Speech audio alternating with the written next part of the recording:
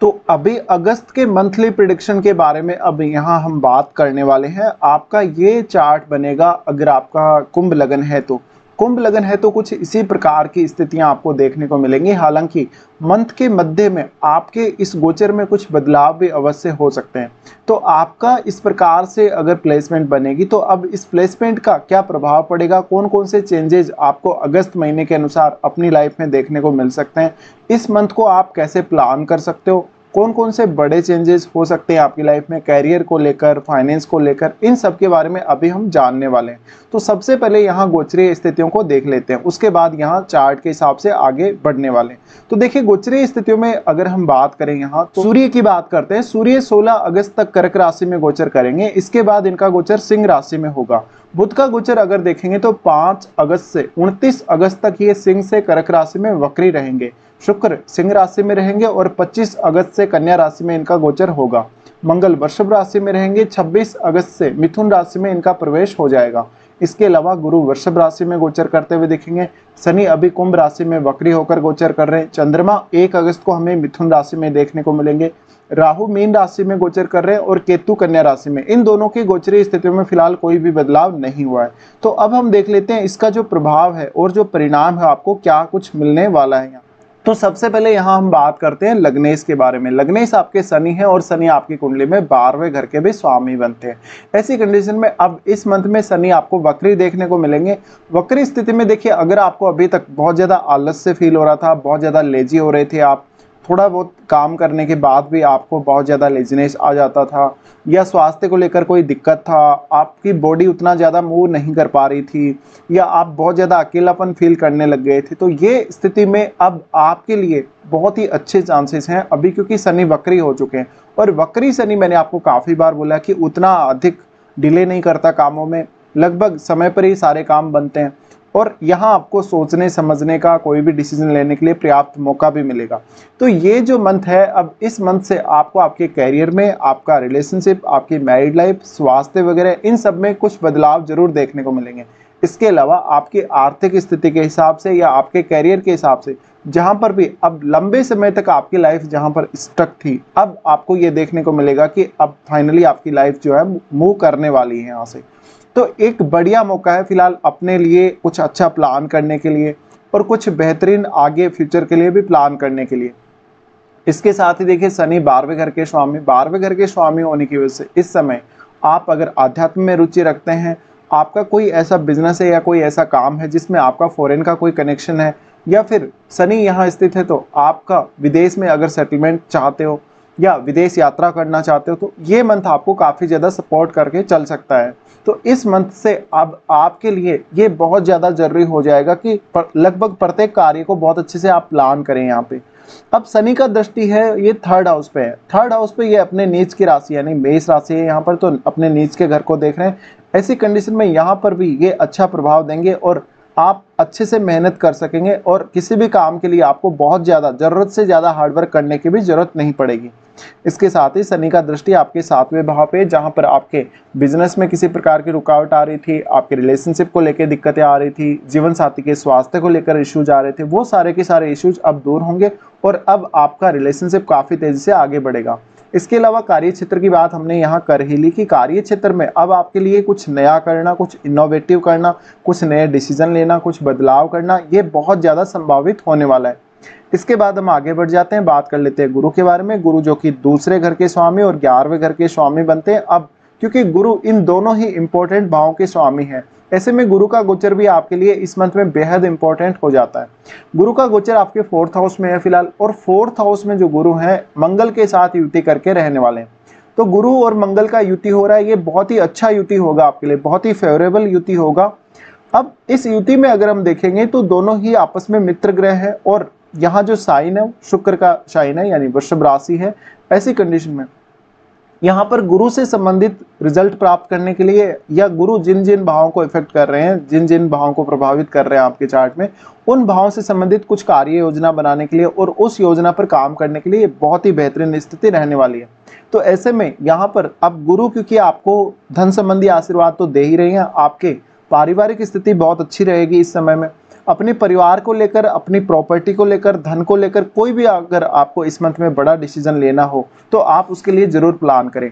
इसके अलावा गुरु यहाँ है तो आपका अगर एजुकेशनल जैसे आपका करियर स्टार्ट हुआ है तो एजुकेशनल करियर बेहद अच्छा रहेगा, परिवार का पूरा साथ रहेगा। लेकिन ये मंथ आपके करियर के लिए काफ़ी ज़्यादा इंपॉर्टेंट है, क्योंकि देखिए दोनों की दोनों जो ग्रह हैं, वो आपके टेंथ हाउस को एक्सपेक्ट कर रहे हैं यहाँ से। और शनि का प्रभाव भी, जो शनि डिले का जो प्रभाव डाल रहे थे, वो एकदम कम हो चुका है, इस वजह से। अब आपको आपके कैरियर को बहुत ज़्यादा तेज़ी से पुश करना चाहिए। और कैरियर में कुछ नया प्लान करके देखना चाहिए, कुछ ना कुछ इनोवेटिव करना चाहिए, या आपके लिए कुछ नया अगर कर सकते हो कैरियर में, अपना जॉब वगैरह चेंज करने के लिए या कुछ ऐसा कर सकते हो तो आप ज़रूर उसके लिए ट्राई करें। अब गुरु जो है, वो गुरु ज्ञान के कारक हैं। ज्ञान के और भाग्य के कारक होने की वजह से इस समय आपके कार्य क्षेत्र के लिए बेहद अच्छी स्थिति रहेगी। और देखा जाए तो गुरु का जो एस्पेक्ट है, अगर एस्पेक्ट के हिसाब से अगर हम बात करेंगे तो ये आपके आठवें भाव को भी एस्पेक्ट कर रहे हैं। आठवें भाव को जब इस प्रकार से गुरु एस्पेक्ट करेंगे तो आपके ससुराल पक्ष से और आपकी पैतृक संपत्ति से आपको फ़ायदा होगा। इसके अलावा आप अगर कोई रिसर्च के फ़ील्ड में है, कोई ऐसे फ़ील्ड में है जहाँ पर बहुत ज़्यादा गोपनीयता रहती है, जहाँ पर चीज़ें खुलकर सामने नहीं आती, जहाँ पर कोई गोपनीय जाँच पड़ताल करनी रहती है। ऐसे कार्यों में बहुत अधिक सफलता मिल सकती है। साथ साथ में जो भी लोग रिसर्च के फ़ील्ड से जुड़े हैं, कोई साइंटिस्ट हैं, कोई और इस प्रकार के अगर काम से जुड़े हैं, उन लोगों को भी बेहद सफलता मिल सकती है काम में।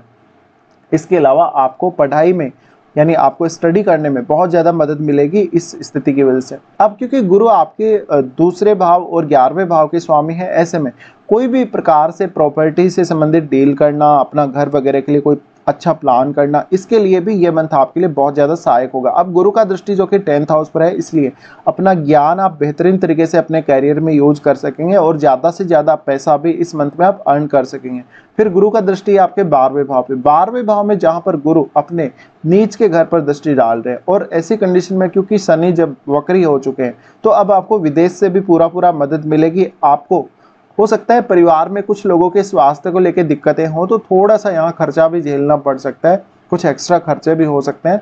लेकिन आपके इंडिविजुअली अगर देखा जाए तो ये मंथ बहुत बेहतरीन रहने वाला है। इसके साथ साथ आपको थोड़ा सा स्पिरिचुअल रुझान रहेगा, थोड़ा अध्यात्म में रुचि रहेगी और आपको खुद पर ज़्यादा से ज़्यादा फोकस करके चलना चाहिए। इसके साथ साथ आपके लिए पारिवारिक जिम्मेदारियाँ और आपका करियर ये दो जो एस्पेक्ट हैं लाइफ के, बहुत ज़्यादा इंपॉर्टेंट होने वाले हैं। तो अब आगे बढ़ जाते हैं यहाँ से और बात कर लेते हैं मंगल के बारे में। अब मंगल और गुरु का युति काफ़ी ज़्यादा इंटरेस्टिंग युति है और यहाँ पर क्योंकि गुरु जो है, वो तो ऑलरेडी हमने डिस्कस कर ही लिए और मंगल का जहाँ तक बात है, मंगल तीसरे घर के स्वामी और दसवें घर के स्वामी।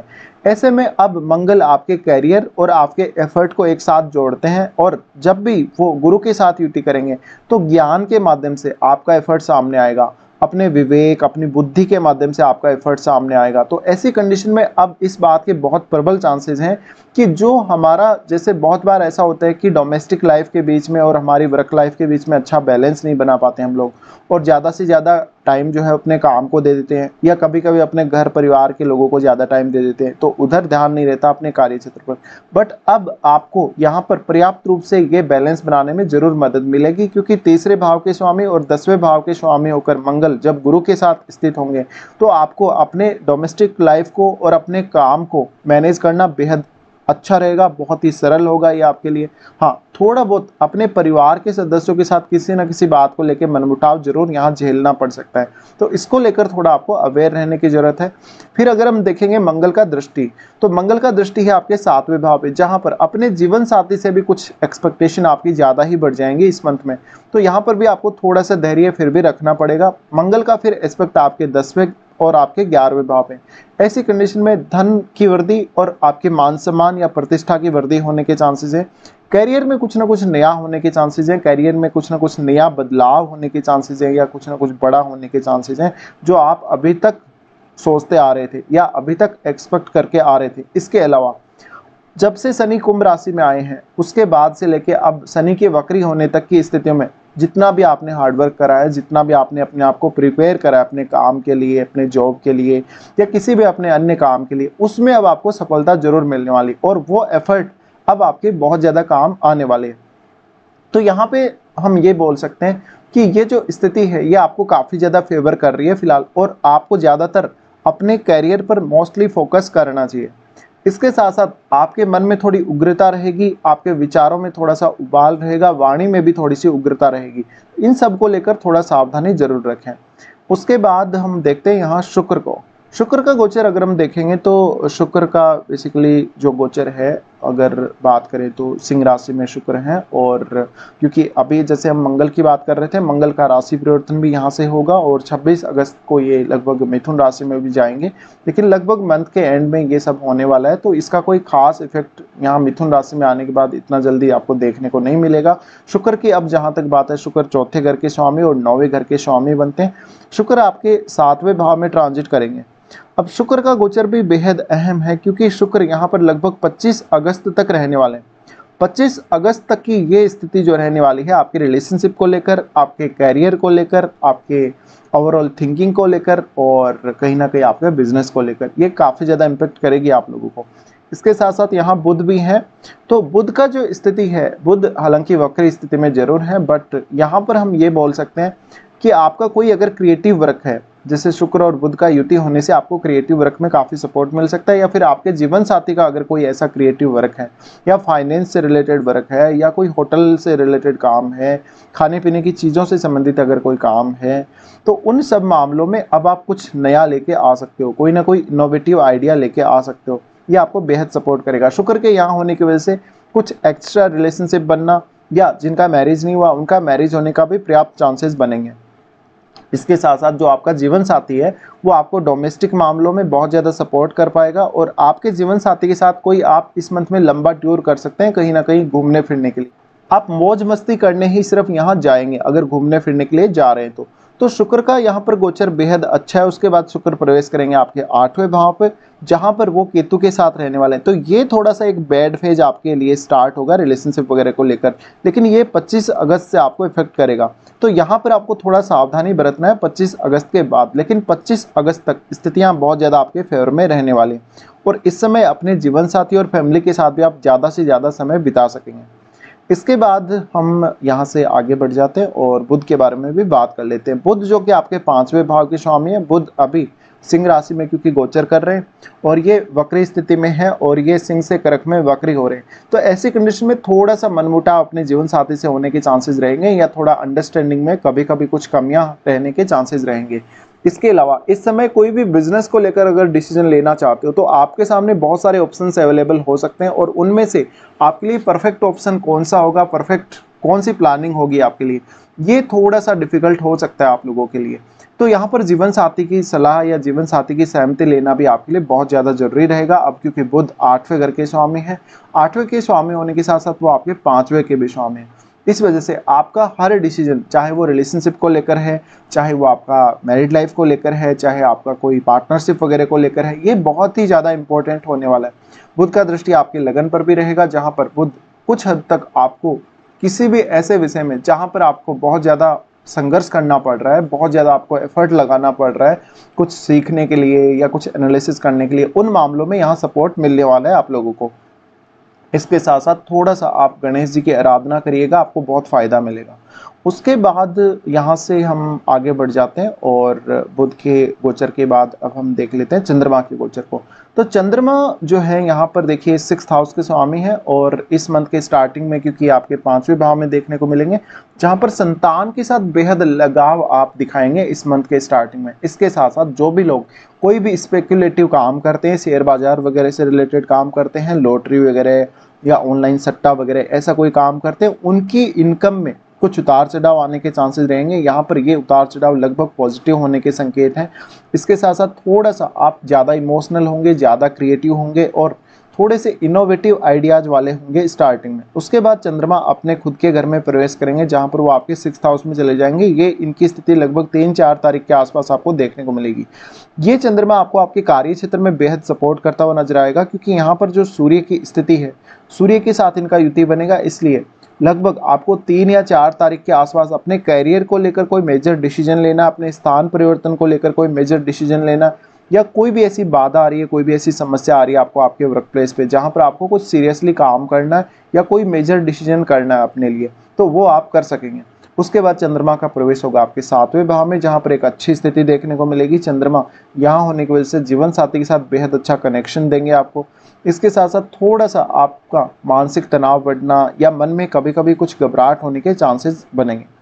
इसके बाद हम सूर्य की स्थिति को देखेंगे। सूर्य जो कि आपके सातवें भाव के स्वामी बनते हैं, सूर्य के गोचर को अगर हम लोग देखेंगे तो ये आपके सिक्स हाउस में फ़िलहाल गोचर करेंगे और 16 अगस्त तक इनकी ये स्थिति है।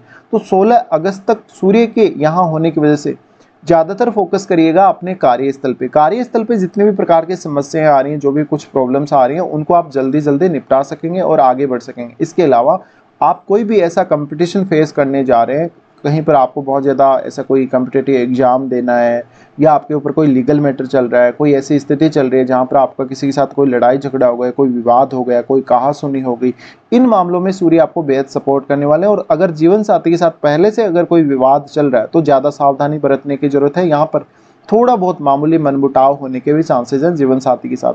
लेकिन यहाँ पर सूर्य बेहद सपोर्ट कर रहे हैं आपको आपके करियर के लिए। तो ऐसे में आपकी डेली लाइफ बेहतर होगी इस मंथ में और आपका करियर भी काफ़ी बेहतर होगा।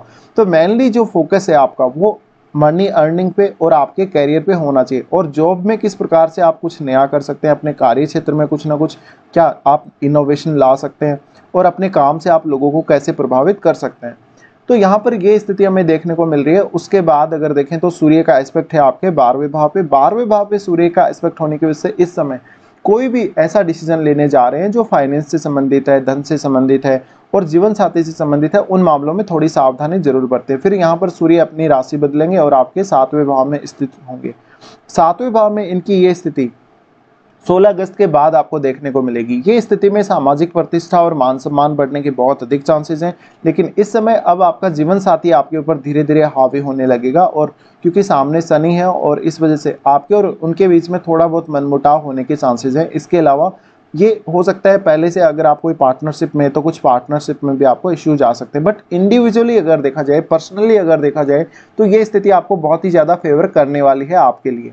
इसके बाद अगर हम देखें तो यहाँ पर हम आगे बढ़ जाते हैं और जैसे कि हमने लगभग यहाँ सभी ग्रहों के बारे में बात की है, शुक्र के बारे में भी हमने बात कर ली, मंगल और गुरु के बारे में भी हमने बात की है। तो अब हम देख लेते हैं कौन कौन से अच्छे दिन और कौन कौन से ख़राब दिन आप लोगों के लिए आने वाले हैं इस मंथ में, जिनका अब आपको देखना है प्लान करना है अपने लिए। तो सबसे पहले हम अच्छे दिनों की बात करते हैं। अच्छे दिनों में अगर देखा जाए तो यहाँ पर आपके लिए पाँच, छः, सात, उसके बाद दस से बारह तारीख तक फिर पंद्रह सोलह और पच्चीस से सत्ताईस तक। ये दिन आपके लिए बेहद खास हैं। आपका जो भी काम नहीं बन पा रहा है, जिस भी काम में आपको बहुत ज़्यादा स्ट्रगल करना पड़ रहा है, बहुत ज़्यादा मेहनत करनी पड़ रही है, उस काम को आप इन दिनों में ट्राई ज़रूर करिएगा। इसके बाद हम देख लेते हैं कौन कौन से खराब दिन हैं, जहाँ पर आपको कुछ दिक्कतें भी आ सकती हैं। खराब दिनों में जहाँ तक बात है, चंद्रमा का गोचर जब कर्क राशि में होगा, तीन और चार को, ये स्थिति आपके लिए तनाव भरी रह सकती है। आपको किसी के साथ कोई झगड़ा, कोई मनमुटाव होने के चांसेस बनेंगे और आपके ऊपर आपको मानसिक तनाव या चिंता बहुत ज़्यादा देखने को मिल सकती है। चंद्रमा का गोचर जब आपके आठवें भाव में होगा तो ऐसी कंडीशन में आठ और नौ को यह स्थिति आपको कुछ अचानक बड़े बदलाव दे सकती है लाइफ में। जैसे कि आर्थिक स्थिति में कोई बदलाव आ गया, कोई कहीं से आपको सडनली कोई धन लाभ हो गया, इसके अलावा थोड़ा सा चिंता रहेगी, आपको थोड़ा डिप्रेशन एंगजाइटी की वजह से दिक्कत रहेगा। तो आठ और नौ को थोड़ा सा मन में घबराहट भी हो सकती है, इसको लेकर आपको अवेयर रहना चाहिए। उसके बाद चंद्रमा, जब कैप्रिकॉन में ट्रांजिट करेंगे, सत्रह और अट्ठारह को तो ये स्थिति में आपको कुछ हद तक स्वास्थ्य संबंधी दिक्कतें कुछ हद तक कॉन्फिडेंस में बहुत ज़्यादा कमी होना और आपके आर्थिक मामलों में कुछ ना कुछ बड़े बदलाव होने की चांसेज सत्रह और अट्ठारह को अगर आप ना कोई भी लोन वगैरह लेना चाहते हैं करियर के लिए कोई डिसीज़न लेना चाहते हैं या लॉन्ग टर्म के लिए कोई प्लान करना चाहते हैं किसी भी काम के लिए तो थोड़ी सावधानी बरतें और इन दो दिनों को कोई भी डिसीज़न लेने के लिए अवॉइड आपको करना होगा। तो कुल मिलाकर अभी हम डिस्कशन कर चुके हैं। फ़िलहाल आपको वीडियो देखने के लिए धन्यवाद।